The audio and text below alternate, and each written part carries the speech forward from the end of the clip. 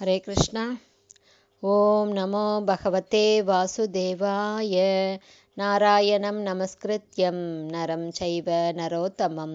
देवीं सरस्वतीं व्यासं ततो जयम् उदीरयेत् नष्टप्रायेषु अभद्रेषु नित्यं भागवतसेवयां भगवतेरुत्तमश्लोके भक्तिर्भवति नैष्टकी मुखं करोति वाचालं पङ्गुं लङ्कायते गिरिं यत्कृपातमहं वन्दे श्रीगुरुं दीनतारिणं परमानन्दमाधवं श्रीचैतन्य ईश्वरं हरे कृष्णा शिल गुरुदेव की ஜெய் ஸ்ரீல பிரபுபாது கி ஜெய் ஹரே கிருஷ்ணா ஸ்ரீமத் பாகவதம் கேண்டோ இரண்டு அத்தியாயம் மூன்று.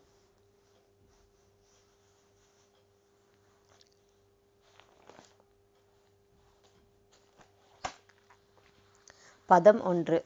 ஸ்ரீ சுக உவாச்ச. ஏவம் ஏதன் நிகதிதம். பிருஷ்டவான் யத் பவான் மவ.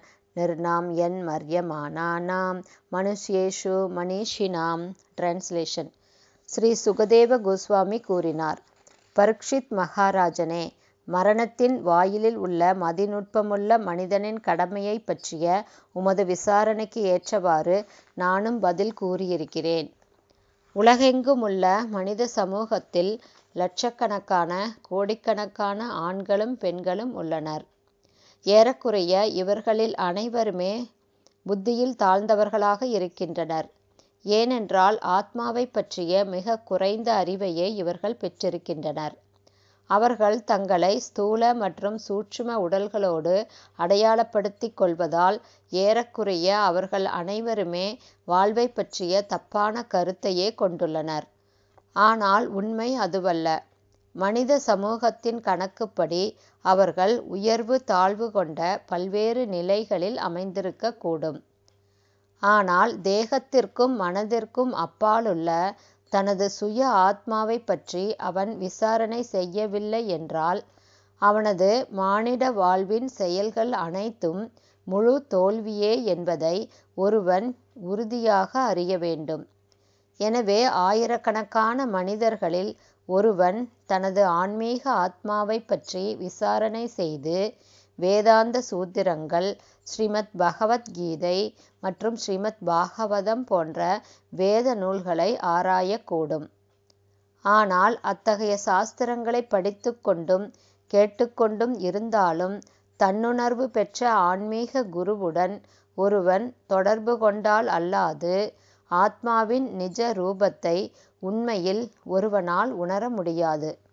மேலும் ஆயிரக்கணக்கான இத்தகைய மனிதர்களில் யாரேனும் ஒருவன் பகவான் ஸ்ரீ கிருஷ்ணரை உள்ளபடி அறிந்திருக்க கூடும் பகவான் ஸ்ரீ கிருஷ்ணரின் நிஜமான உறவை ஏறக்குறைய முழுவதுமாக மறந்து போய்விட்ட மனித சமூகத்தின் புத்தி நுட்பமுள்ள பிரிவைச் சேர்ந்தவர்கள் படிப்பதற்காக பகவான் ஸ்ரீ கிருஷ்ணர் தமது தனிப்பெரும் கருணையால் வியாசதேவரின் அவதாரத்தில் வேத இலக்கியங்களை தயாரித்தார் என்று சைத்தன்ய சரிதாமிரதத்தில் மத்திய லீலையில் கூறப்பட்டுள்ளது.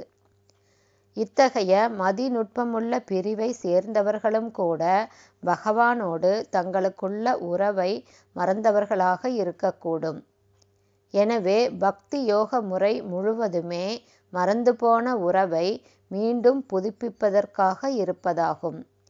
எண்பத்தி நான்கு லட்சம் விதமான உயிரினங்களின் பரிணாம வளர்ச்சி கொண்ட சக்கரத்திலிருந்து மட்டுமே மனித பிறவி ஒருவனுக்கு அடையப்படுகிறது. இத்தகைய மதிப்புமிக்க மனித பிறவியில்தான் இந்த மறுமலர்ச்சி சாத்தியமாக கூடியதாகும். புத்தி நுட்பமுள்ள மனித பிரிவினர் இந்த சந்தர்ப்பத்தை நன்கு பயன்படுத்தி கொள்ள வேண்டும். மனிதர்களில் அனைவருமே புத்திசாலிகள் அல்ல. எனவே மனித வாழ்வின் முக்கியத்துவம் எப்போதுமே புரிந்து கொள்ளப்படுவதில்லை.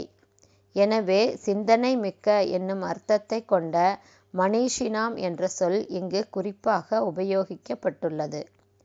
ஆகவே பரீட்சித் மகாராஜனை போன்ற மனிஷினாம் அதாவது சிந்தனை மிக்க மனிதர் பகவான் ஸ்ரீ கிருஷ்ணரின் தாமரை பாதங்களை சிக்கன பற்றி பகவானின் புனித நாமம் மற்றும் திருவிளையாடல்கள் ஆகியவற்றை கேட்பது பாடுவது போன்ற பக்தி தொண்டில் தன்னை முழுமையாக ஈடுபடுத்திக் கொள்ள வேண்டும் இச்செயல்கள் எல்லாம் ஹரி கதாமிர்தம் என்று அழைக்கப்படுகின்றன.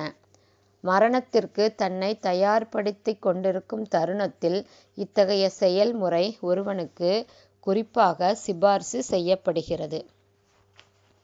ஹரே கிருஷ்ணா. ஸ்ரீமத் பாகவதம் கேண்டோ இரண்டு அத்தியாயம் மூன்று தூய பக்தி தொண்டு இதயத்தின் மாற்றம் என்ற தலைப்பில் பதம் ஒன்றுடைய ஸ்ரீல பக்திவேதாந்த சுவாமி பிரபுபாதாவின் விளக்க உரை இத்துடன் நிறைவடைந்தது. ஹரே கிருஷ்ணா. ஸ்ரீல குருதேவ் கி ஜெய். ஸ்ரீல பிரபுபாதுக்கு ஜெய். ஹரி போல்.